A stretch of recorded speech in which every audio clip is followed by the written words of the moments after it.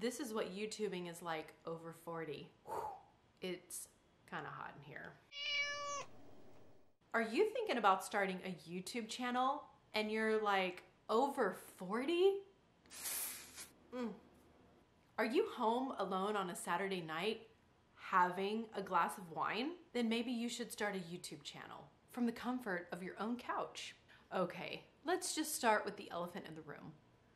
My name is Alicia and I'm 42 years old.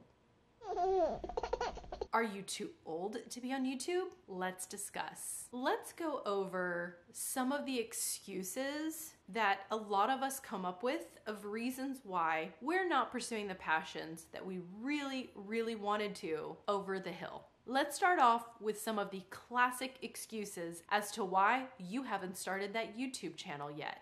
Number one, I don't have the money. For those of you that have a little thing called a phone, you have zero excuses. You probably paid $1,200 for your phone. And the ironic part is that you spent so much money for people to contact you and they never contact you. So here's what you're gonna do. You're gonna pick up this phone and you're gonna use it to your advantage.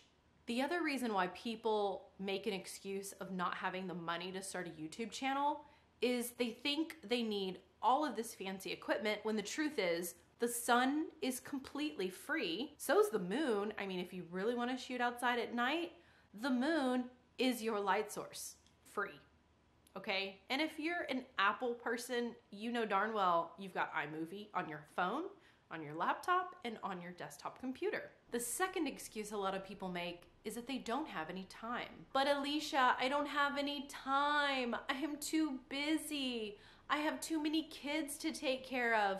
I have a family. I'm a single mother.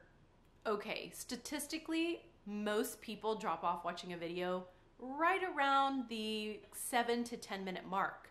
So you don't need a lot of time to record video. At the most, give yourself 20 minutes to say everything that you need to say and then edit all that down to just 10 minutes. If you've only got 10 minutes to crank out content while you're on the crapper, then so be it. If that is the only alone time you get away from your children, then go for it.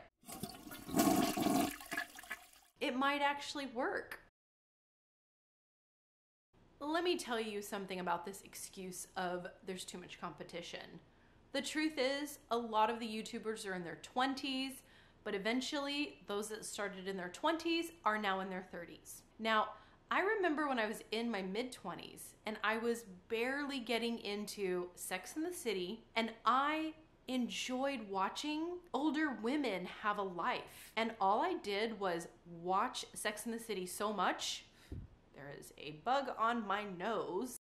All I did was watch Sex in the City because I couldn't wait to grow up. I wanted to watch older women be empowered, and I dreamt of feeling that way when I was gonna be in my 30s. I watched older women because I wanted to learn from them. I wanted to see what they were wearing, I wanted to see how they were acting with men and careers and stuff. So I watched older people.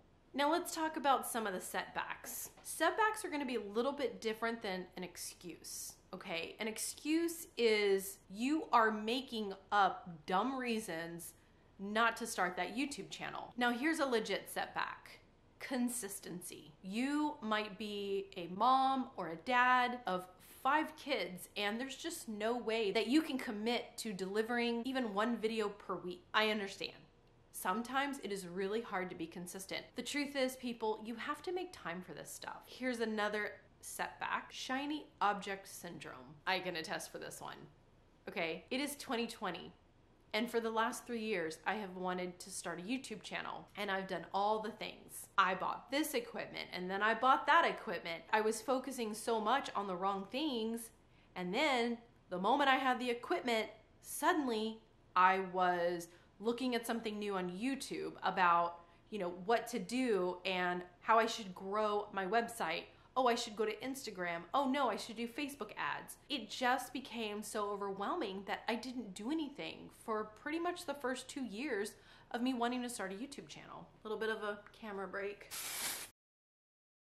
I am in the process of lightening little by little over time because I am now patient. You just won't get it in one session. You have to be patient.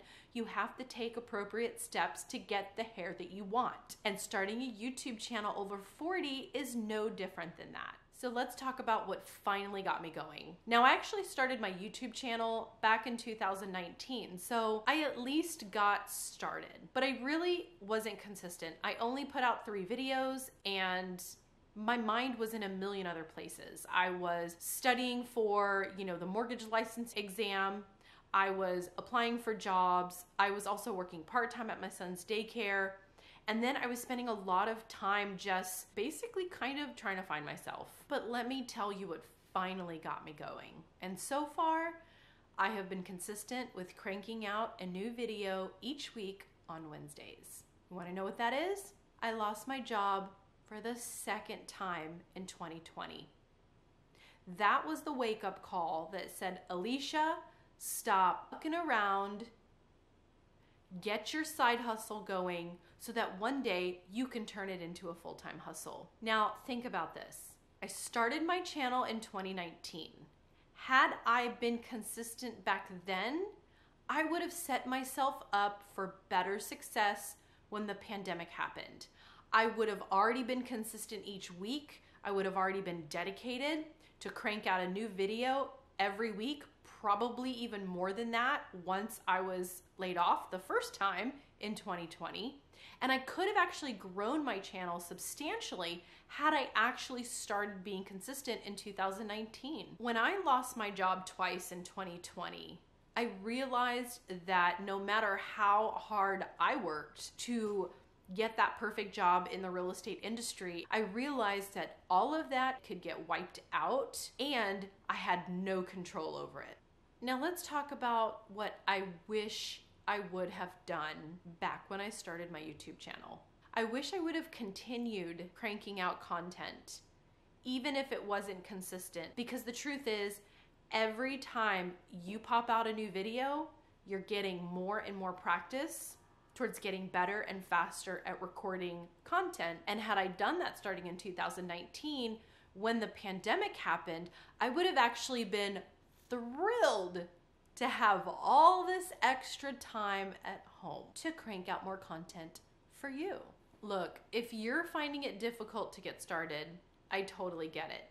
A lot of times, especially when you're older, you're either stuck in your ways of the same negative thinking or you genuinely truly have so much responsibility that you just don't know if you can take on another commitment of some sorts. Why you need to just get started is that you really need to decide what type of content do you want to create. A lot of times, just creating random content and getting yourself in front of the camera, eventually you're going to find clarity.